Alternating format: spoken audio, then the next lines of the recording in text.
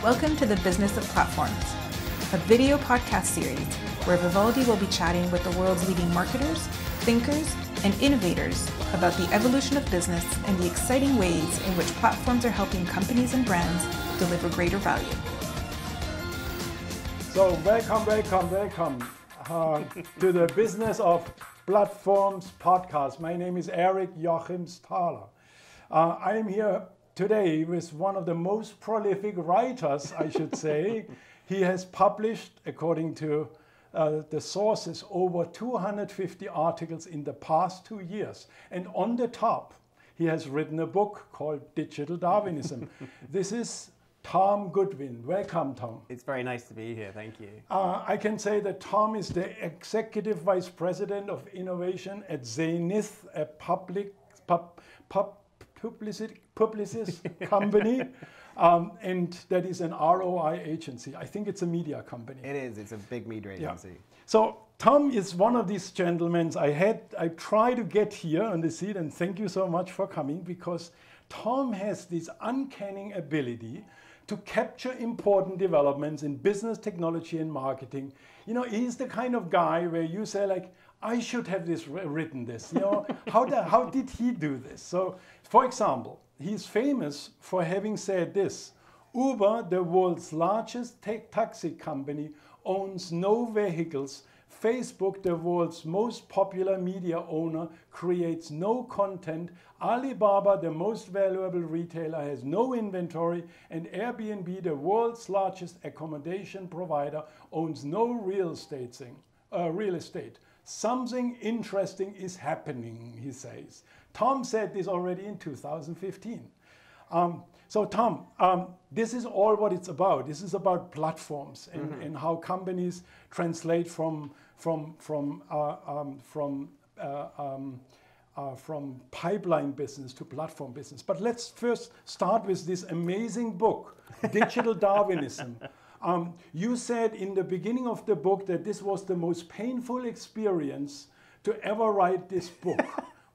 why would you why would you want to have a painful experience to write a book? What motivated? I was going to say I didn't really want to write a book. I think um, there are people on this planet that have a dream of writing a book, um, and they romanticize the idea. Yeah. I didn't. Um, I'd written a lot of articles, mm. and they'd always been published online. And what I loved about that was that you were able to learn from the conversations they started. So mm. the, the beautiful thing about the internet is people will tell you very quickly what they think about your work. Yeah. Um, well, that that's for you. You get 900 likes on something. I get five. I might get 900 likes, but I also have 36 emails telling me I'm an idiot. Um, and oddly, that's useful because it means you get to test theories. It mm. means that you don't um, become arrogant, and it means that you get to learn. And also, you, I mean, it sounds quite pretentious, but you get to start a conversation. So. Yeah. You know, I think a lot of what we talk about in marketing is a lot of nonsense. We talk about millennials, even though that's 2.5 billion people that were gathering together as one. So when you talk about that on the internet, it's great because a conversation starts. Yeah. Whereas books are quite frustrating because you put out all your thoughts, um, you know, you kind of bundle them together into this unit that gets printed and it can mm. never be changed. Uh, you have no idea what mm. people think about it. Um, so I didn't really want to write a book, but people persuaded me to write a book. Yeah. Um, and I had all these ideas, and I kind of thought maybe there's a way to sort of craft them together into some sort of overriding mm. narrative. Mm-hmm. Um, and then the book came together, and yeah, it's, it's, difficult, and you're full of a lot of self doubt yeah. and, and, sort of vulnerability, yeah. and not not exactly imposter syndrome, but there's a sense where you think, you know, it, it, uh, like, is this worth seven hours of someone's time? Yeah. Um, yeah. You know, am I really right to challenge, you know, Harvard. Business School professors on their thinking? Yeah. yeah. Um, but it was a, it was an amazing process to go through. It was somewhat yeah. cathartic. But you do it very successfully. So so when you say about when you say Darwinism, digital Darwinism, what do you understand this to be? and and um, I, I know this from college, from my from my high school days. Yeah. And, and what do you understand this to be, and, and what sort of your, your, what is sort of like the three things that you would recommend? Yeah, I mean, I don't love the title actually. The mm-hmm. sort of title was given to me by the publishers, and I didn't like it, and then they challenged me to come up with better ones, and I mm. couldn't. So, like the the spirit behind Darwinism is is obviously the idea of the sort of survival of species and the degree to which things naturally will become extinct unless they evolve over time. Uh, so the sort of, the spirit of the book is rooted in the reality of a changing world and a world where the things that made you very successful in the past for many many industries um, are either now not um, huge advantages or they're not advantages at all or in some cases they're even disadvantages. Like if you're amazing at publishing a newspaper and you're great at um, you know, selling advertising, and you're wonderful at negotiating on printing and distributing physical newspapers. Like to some extent, that's completely irrelevant to the Yeah. skills you need in the, in the, in the sort of future. Um, so I was trying to sort of take a snapshot of this moment in time, look at companies which are under, underestimating the existential risks that they have. Also look at companies that are not facing existential risk. Like if you're a, a sort of German brewer that's been run by a family since 1500, then you know Called drones. Bitburger. Yeah, The leading Bitburger's German a great beer, beer. yeah. Yeah. I'm sure Bitburger did not wake up in the middle of the night thinking, "What do drones mean for our business?" Yes. You know, has blockchain going to screw us over? Because actually, they make great beer. Um, There are other good beer brands out there, Mm-hmm. um, but they make great beer and they'll be fine. Um, but the book was really about looking at some of the dynamics that exist in the world. So ideas like platforms and Mm-hmm. how owning things and having assets and having expertise in Mm-hmm. the old paradigm is somewhat unhelpful. It's looking at things like the leapfrog effect, where Yes. You know we're both Europeans in America, and we probably experience um, routinely we experience much older technologies here. Yeah. You know, the planes that we fly on here are the oldest planes I ever fly on. The banking system Yeah. is sort of built in the 1970s. Um, shopping malls feel very archaic. Yeah. You go to somewhere like China or India, and you suddenly realize they've leapfrogged all of this stage of development, and they have the latest planes, the best banking, the best mobile phone networks, and so on. Yeah. So that was another idea of of the leapfrog, and then this idea of sort of disruption, Yes. which is one of these horrible words that people use all the time and just become meaningless. But I was looking at how is it that people like Tesla have tripped up very successful large Yes. auto companies? How has a company like Dyson uh, ruined business for people like Hoover? How has Facebook, you know, completely poked in the eye the New York Times Yeah. and so on? No, but you know that's really tall order. I know Bitburger. This is a 600-year-old beer. The basics of beer brewing hasn't changed. Yeah. They brew that beer in Bitburg, which is a very Yeah. rural um, part of Germany and what's called in a, in a, in a, a mountainous area called very beautiful landscapes uh, called uh, Eifel. And what I think is is um, the thesis is that these companies are too slow given the changes that you see in the outside. you Yeah. know. Jack Welch once said, uh, if the rate of change in the inside is less than the rate in the, in the, the rate of Yeah. change in the outside, the end is near. Yeah, absolutely. In a way, so it's you. It's I mean it. I.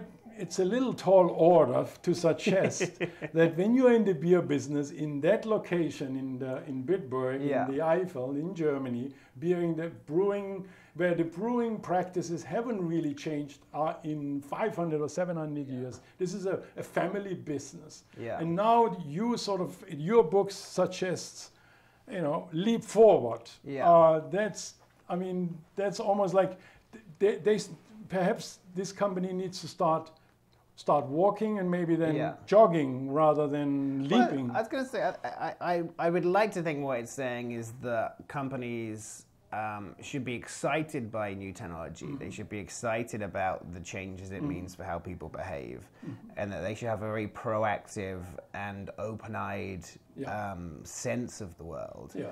And they should not live in denial. Mm-hmm. And then they all have to choose their own paths. And it may be that Bitburger are very, very happy um, to manage the same market share Mm-hmm. in a market that might not be changing hugely in Germany. Mm-hmm. It is in other countries, but in, in Germany, I don't think it is.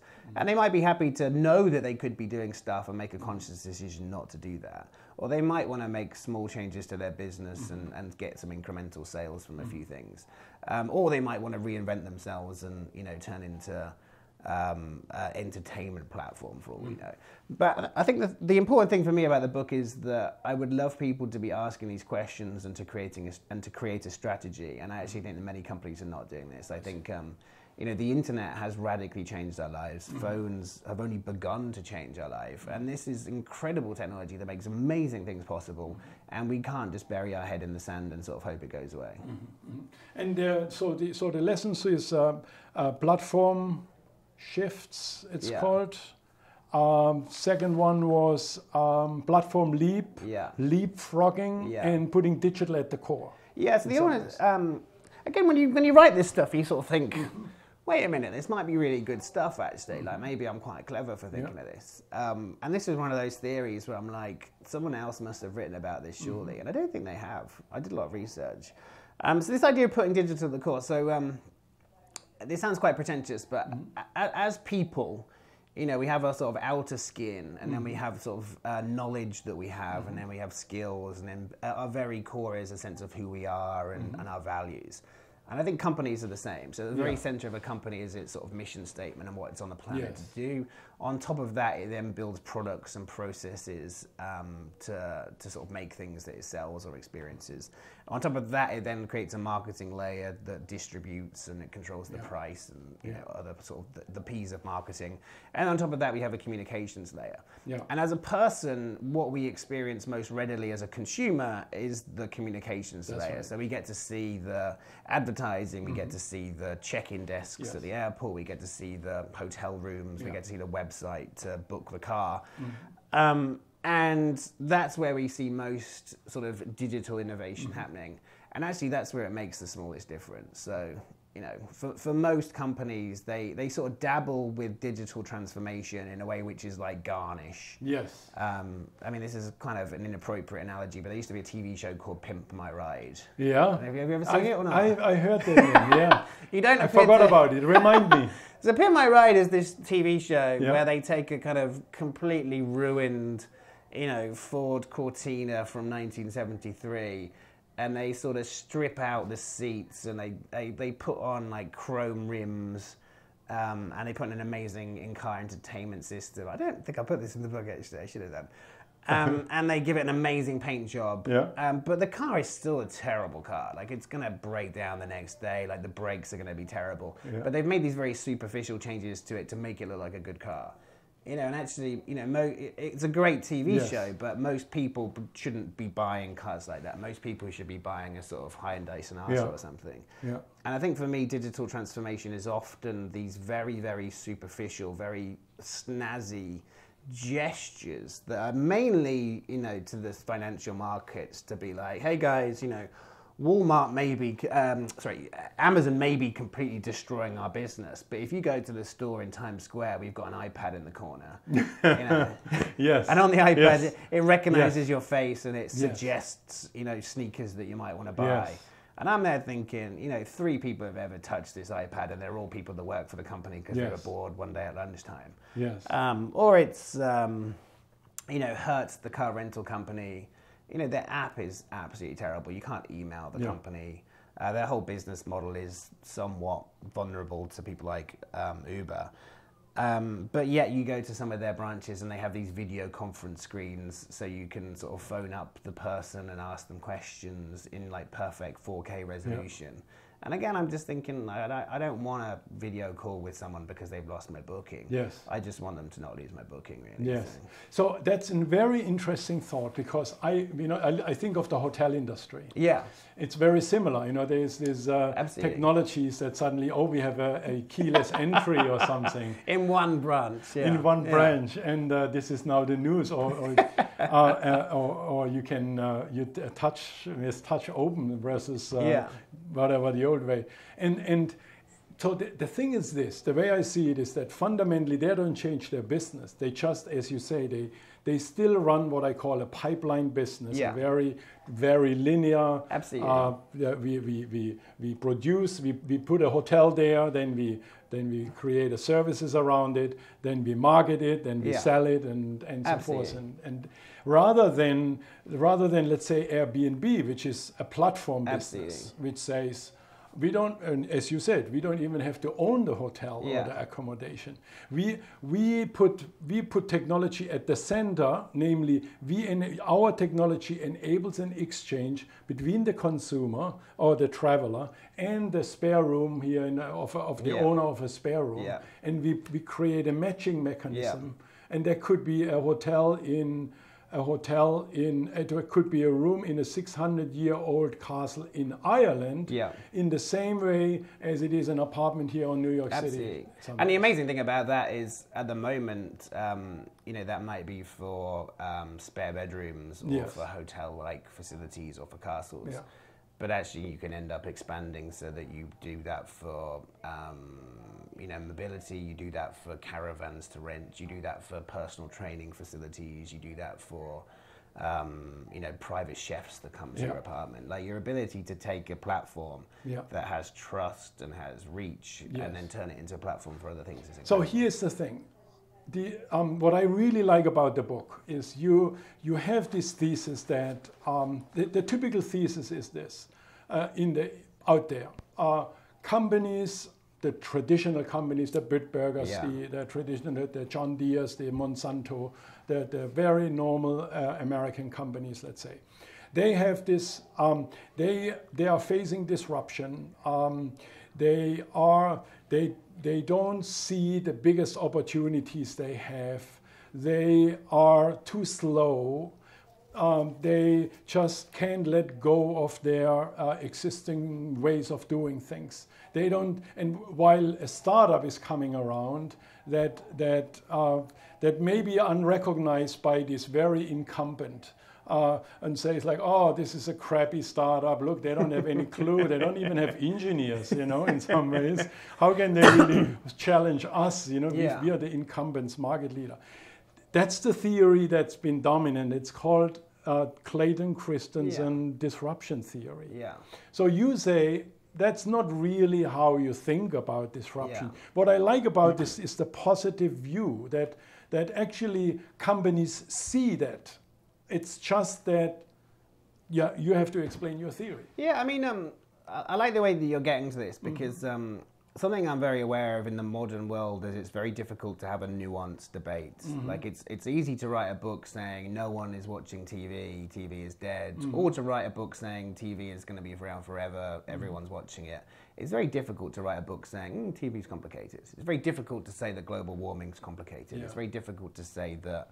Um, all companies face existential. Uh, sorry, not all companies face existential Yeah. threats. Yeah. So I think, I mean, there are a couple of things going on here. One is um, there are lots of companies that haven't done this because it's Mm. not in their interest to do that. Like Procter and Gamble were not stupid to not invent um, Dollar Shave Club because Yes. Dollar Shave Club is vastly unprofitable, has taken out all of the ability to make margin in that category. So you'd have had to be in a complete idiot at Procter and Gamble Yeah. to say, hey, why don't we just create a really cheap form of razor blades? It would never happen to go Yeah. upstairs and say, hey, I'm going to create a business that disrupts our Yeah. business and it's not going to make any money. Yeah, I was going to say like LVMH do not wake up in the morning and go, why don't we make cheaper champagne? Like, why don't we completely remove our ability to charge Yeah. a premium from champagne? So they'd be idi- idiots for saying that. Mm. Um, so, so it's interesting. Mm-hmm. Um, there, there is complexity to it, but you can look at McDonald's and be like, mm, like they could have made Shake Shack. You know, it would have been quite useful for them to have created Mm-hmm. Yeah. a more premium version of what Yes. they did to leverage their expertise.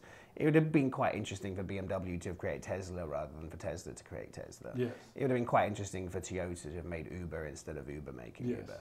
Um, So I look at this and I think, you know, what's going on in these big companies, Mm-hmm. and I think I, have a theory for disruption, and it is a work in progress. Mm-hmm. Like I'm not arrogant enough to say Christian Claytonson is wrong and Mm-hmm. his theory is nonsense, but I am saying it explains everything until about the year 2005 brilliantly, Yes. and it explains nothing that's happened since 2005. I love that. Yeah, That's like the you know Tesla was not a cheaper competitor to BMW. It was an incredibly expensive car. So his theory doesn't hold to be true. Yes. The iPhone was an incredibly expensive smartphone.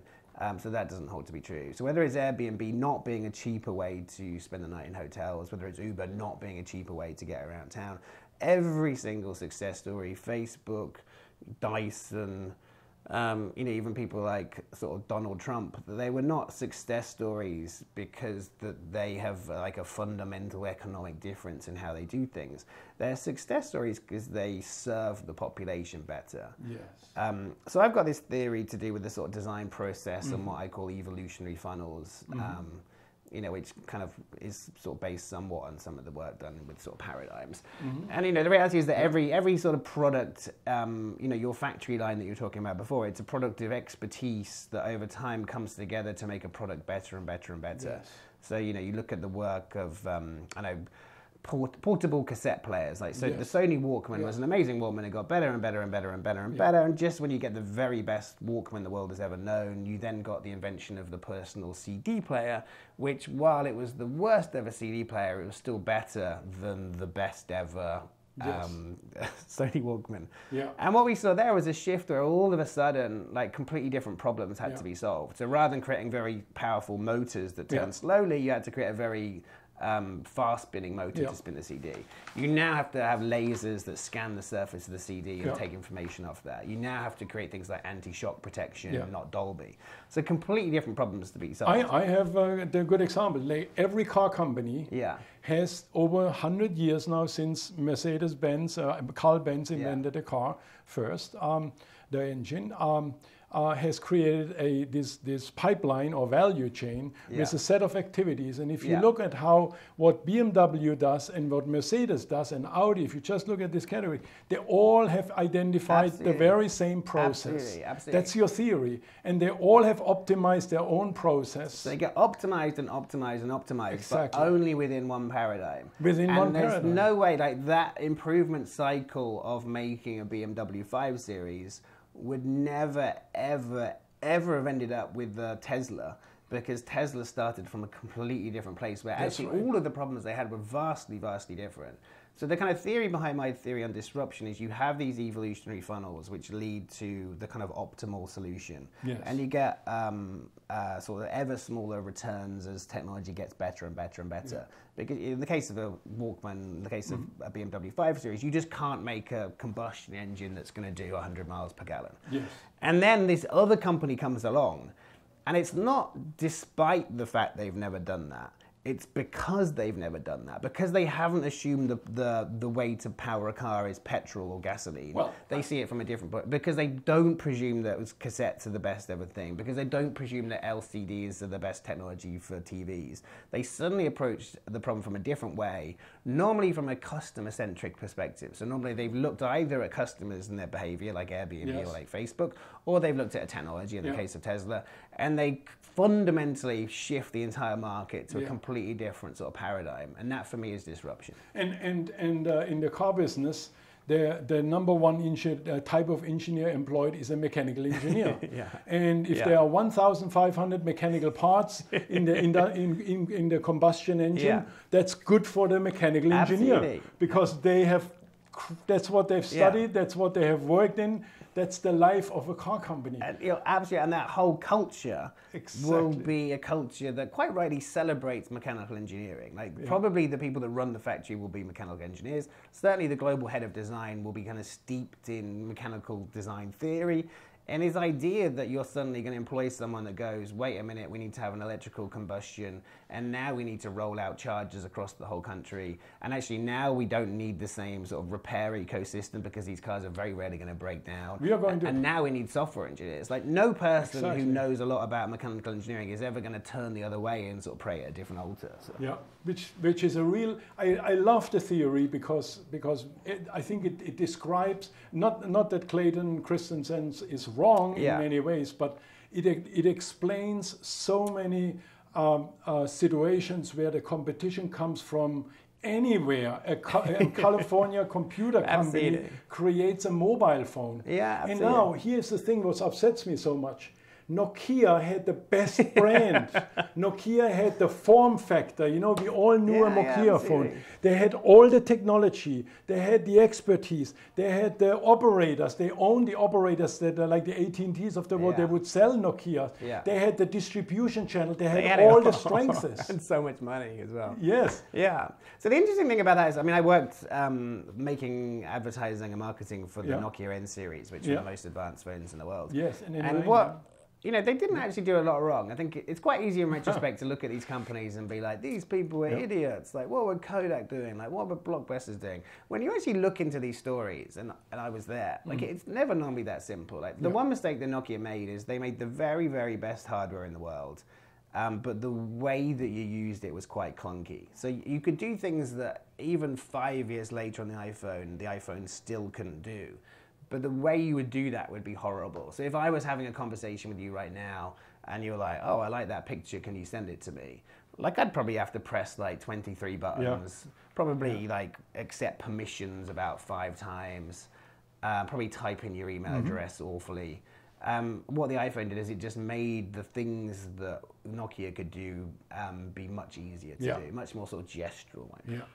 So the, the big learning lesson is that if you want to move, if you want to do the paradigm shift, you got to start from this consumer or outside perspective. Yeah. That, that rather than the constraints of your own sort of like the, your, your own organization, even the most the best organizations, you know, the ultimate driving machine, the Yeah. best car companies, that is a constraining factors, factor because you you are serving more the the paradigm, the dominant paradigm, Absolutely. rather than the the leap Yeah. that, that you try to achieve. Yeah, I mean, um, you know, if you were to look at the sort of focal point of a manufacturing company, um, the issue is they're too good at doing what they do today, and they're too sort of inward focused. And I'm not sort of blaming them. I'm just Yeah. pointing this out. You know, everyone, you know, there. Are, imagine how many engineers there are at BMW, or there were at BMW, that were great at combustion design. Imagine how many amazing gearbox engineers there were. Imagine how many great sort of um, you know, transmission experts there were. Like, there are all these experts, and then around them are people sort of reinforcing the current state of affairs. So there'll be research that showed that miles per gallon is important. There'll be lots and lots of data that shows that in the past, um, how quickly cars accelerated was one of the most important things. And they sort of reinforce the kind of current mindset based Yeah. on data which has been created by the current mindset. And then they employ people like me at advertising agencies to basically tell them that everything they're doing is wonderful and how exciting it is that the new car is, you know, 2% more efficient.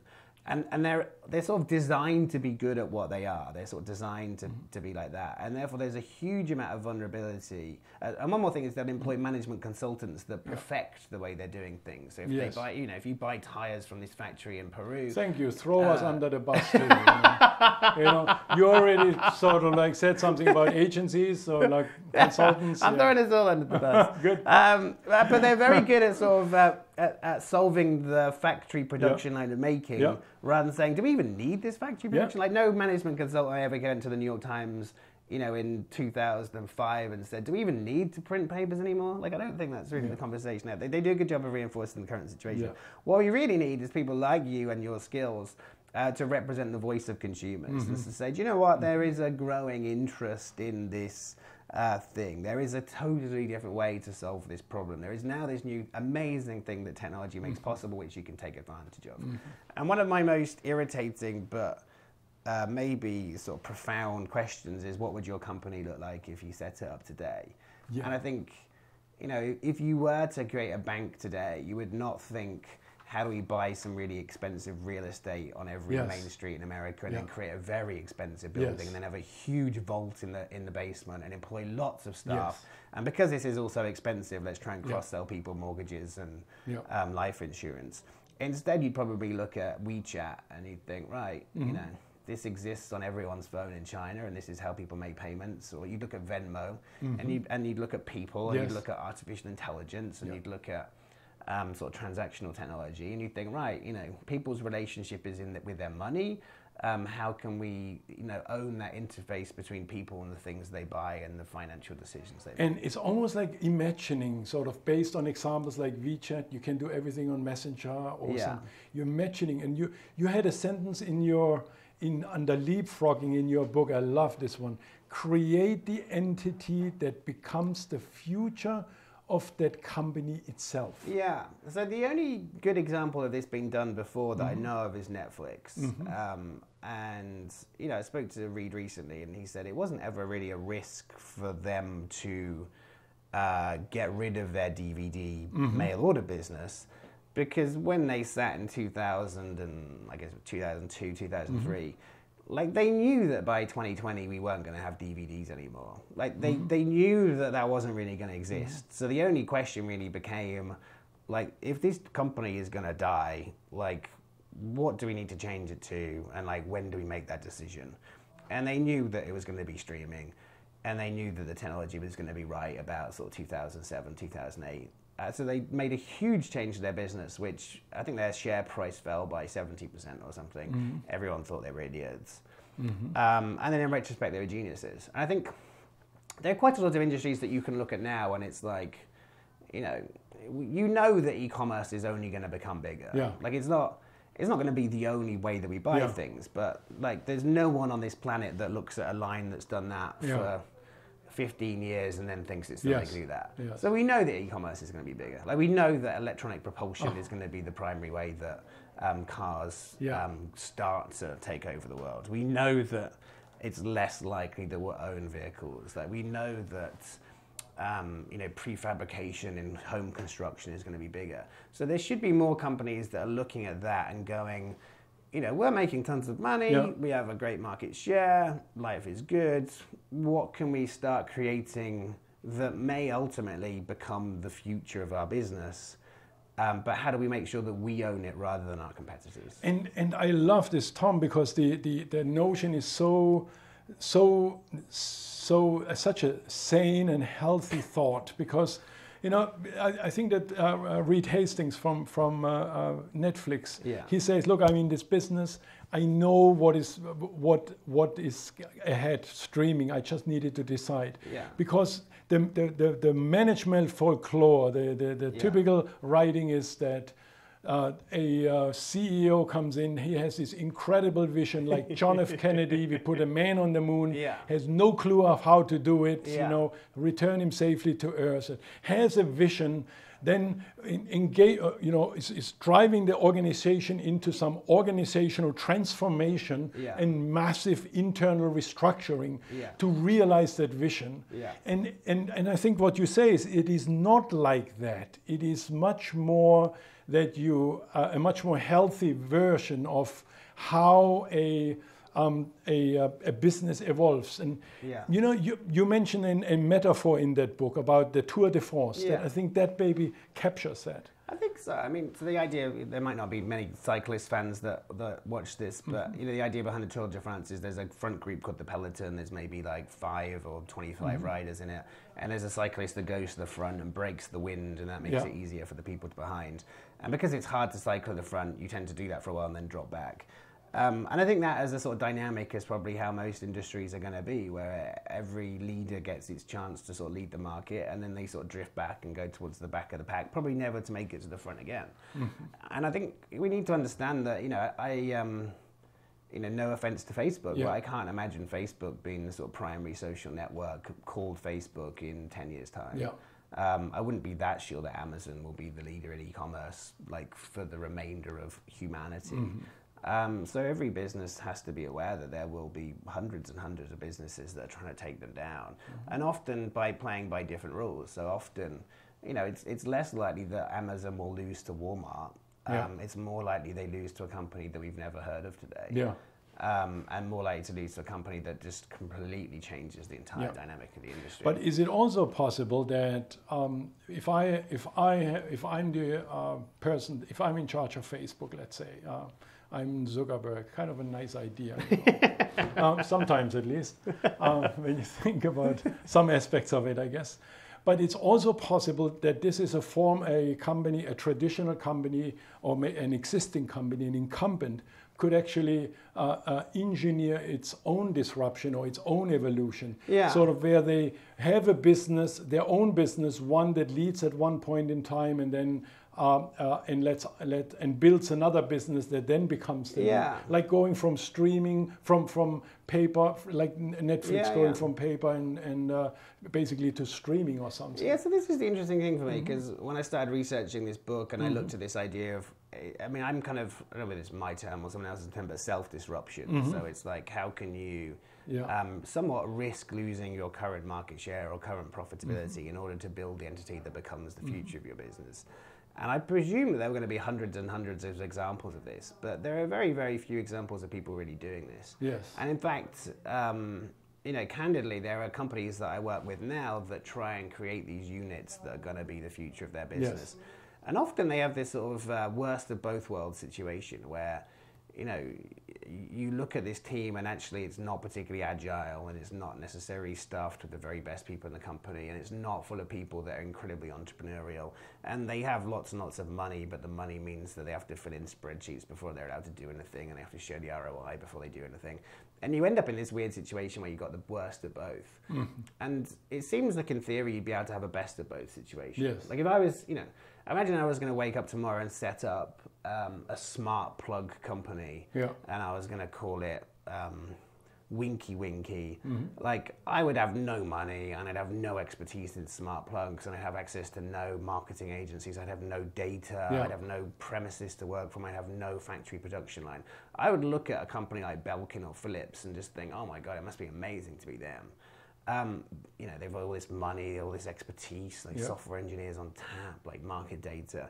But increasingly, it's these small companies that don't really know what they're doing yes. who are able to sort of upset those companies. Yes. So it's very interesting to me to think how can you actually combine the best of both? Yep. Like, how, you know, and I presumed that the answer was that there would be a way for these big companies to sort of incubate these smaller companies, yes, yes. Um, and a way for them to sort of take ownership of them. Yes um, and increase or, or to set them up themselves. Increasingly, I think they probably just have to buy them. Like increasingly, I think you know there would there is a significant role for BMW to have bought Tesla. You know, on you know nine years ago. Yes, there's a significant role for. Uh, Facebook to have bought Snap, not on, yes. not when it was worth eight billion dollars, when um, you know even became quite ego driven, yes. but instead to have bought it you know, when the curve was like that. And you see some examples of that yeah. happening, but it's, it's still primarily seen um, as, as a sort of a last ditch effort when companies buy very big yes. companies rather than a much more early thing.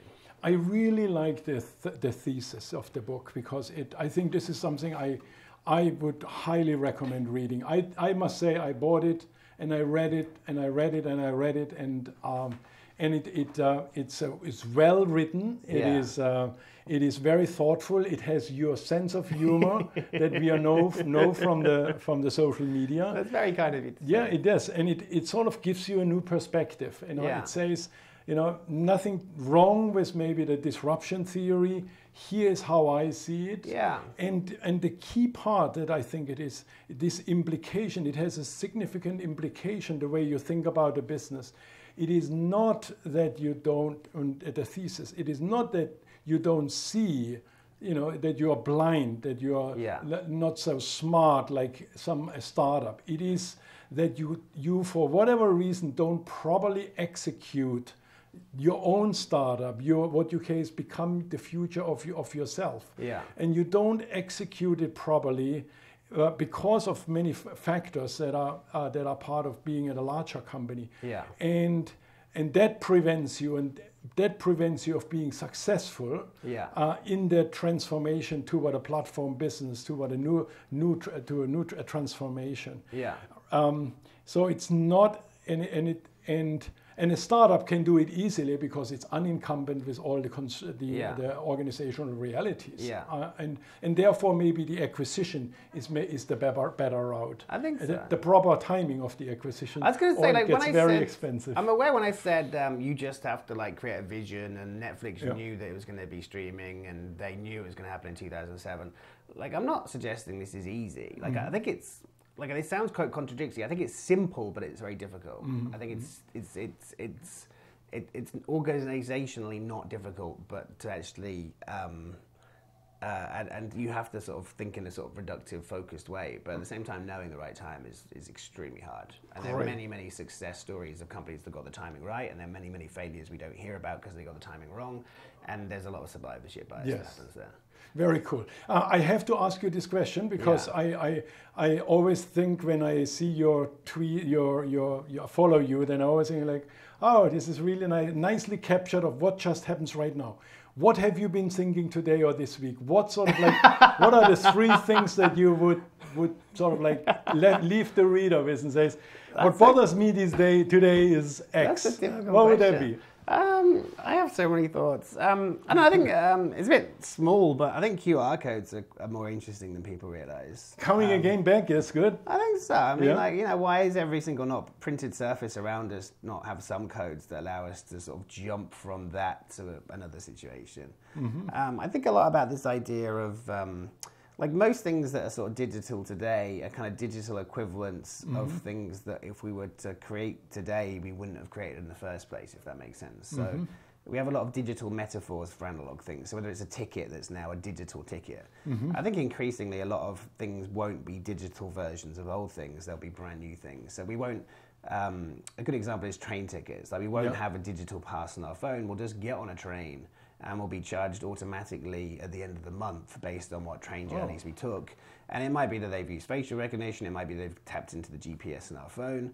But we won't have a ticket. We'll just have a sort of permission in the cloud, if that makes sense. You have a name for this. We are in the middle age, Yeah, the mid-digital age. mid-digital age. Yeah, so you know, I think um, I spent half of my life thinking I can't believe we haven't got to grips with this yet. Yeah. We've had phones for smartphones for 10 or 12 years. Yeah. Why is this still not happening?